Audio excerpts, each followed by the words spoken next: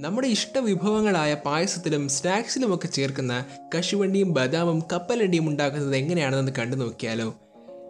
കശുവണ്ടി അല്ലെങ്കിൽ കാഷ്യൂനട്ട് ഉണ്ടാക്കുന്നതിലെ ഏറ്റവും ആദ്യത്തെ പ്രോസസ്സ് അതിന്റെ വിളവെടുപ്പാണ്. വിളവെടുപ്പ് കഴിഞ്ഞ് ഈ കശുവണ്ടി നേരെ പ്രോസസ്സിംഗ് യൂണിറ്റുകളിലേക്ക് എത്തുന്നു. ഇവിടെ കശുവണ്ടിയുടെ തോട് പൊട്ടിച്ചെടുക്കുകയാണ്. രണ്ട് രീതിയിൽ ഇത് ചെയ്യാനായിട്ട് പറ്റും.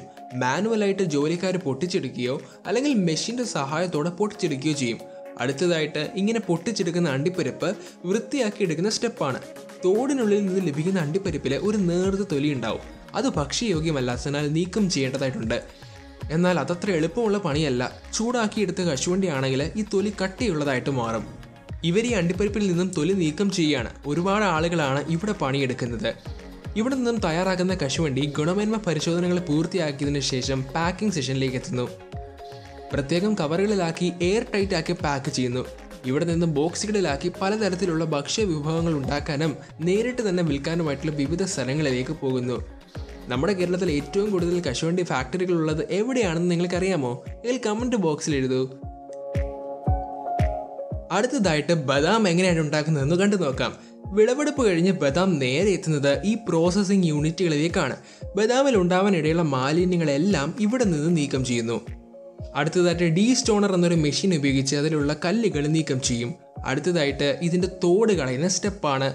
അതിനായിട്ട് ഒരു റബ്ബർ റോളറിന്റെ ഇടയിലൂടെയും ബെൽറ്റിന്റെ ഇടയിലൂടെയും ഈ ബദാം കടന്നു പോകുന്നു ഒരു ഓപ്പറേറ്റർ എപ്പോഴും ഇത് പരിശോധിക്കുന്നുണ്ട്. അടുത്തതായിട്ട് ഈ വൈബ്രേറ്റിംഗ് ഡെക്ക് ബദാമിനെ വലുപ്പത്തിന്റെ അടിസ്ഥാനത്തിൽ വേർതിരിക്കുന്നു. കൂടാതെ തോടോ മറ്റോ ഇതിലുണ്ടെങ്കിൽ അതിനെ നീക്കം ചെയ്യുകയും ചെയ്യുന്നു. ഇവിടെ നിന്നും വേറൊരു ഗ്രാവിറ്റി ടേബിളിലേക്ക് കൂടുതൽ നന്നായി വേർതിരിക്കാനായി ഈ ബദാം എത്തുന്നു. അടുത്തതായി പുറം തോടിന്റെ അടിസ്ഥാനത്തിൽ ഈ ബദാമിനെ വീണ്ടും തരംതിരിക്കുന്നു. ഇങ്ങനെ വേർതിരിച്ച് കഴിയുന്ന ബദാം ഒരു കൺവെയർ ബെൽറ്റിലൂടെ മുന്നോട്ട് നീങ്ങിക്കൊണ്ടിരിക്കുന്നു. ഇവിടെ ജീവനക്കാർ ബദാമിനെ അതിന്റെ തോടിന്റെ അടിസ്ഥാനത്തിൽ വീണ്ടും വേർതിരിക്കുന്നു. തോടുള്ള ബദാമും ഇല്ലാത്ത ബദാമും കടകളിൽ വാങ്ങാനായിട്ട് കിട്ടാറുണ്ട്. ഇവിടെ രണ്ടും ഉണ്ടാക്കുന്നുണ്ട്. കൃത്യമായി തോടുള്ളത് മാത്രമാണ് ഇവിടെ നിന്നും നേരെ പാക്കിംഗ് സെഷനിലേക്ക് പോകുന്നത്.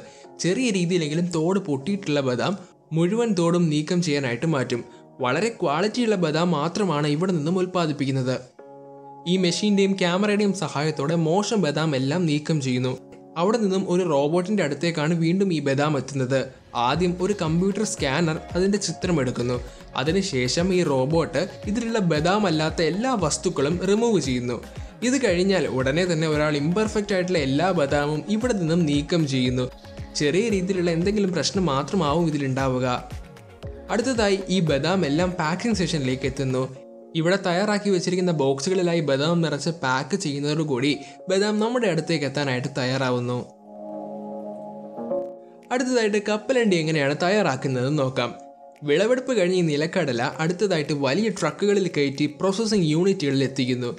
ഇവിടെ എത്തുന്ന കപ്പലണ്ടി ക്ലീൻ ചെയ്ത് പ്രോസസ്സിംഗ് തുടങ്ങുന്നു. ഈ റോളിംഗ് കൺവെയർ ബെൽറ്റിലൂടെ കടന്നു പോകുമ്പോൾ ഇതിന്റെ തോട് പൊട്ടി ഉള്ളിലുള്ള കപ്പലണ്ടി പുറത്തേക്ക് എത്തുന്നു. അടുത്തത് ഈ തോടും കപ്പലണ്ടിയും വേർതിരിക്കുന്ന സ്റ്റെപ്പാണ്. തൊലി നീക്കം ചെയ്തതും അല്ലാത്തതുമായ കപ്പലണ്ടി ഇവിടെ ഉണ്ടാക്കുന്നുണ്ട്. ഒരു മെഷീന്റെ സഹായത്തോടെ തൊലി കളയുകയും അതിനുശേഷം ഈ തൊലി അതിൽ നിന്നും കാറ്റ് ഉപയോഗിച്ച് നീക്കം ചെയ്യുകയും ചെയ്യുന്നു.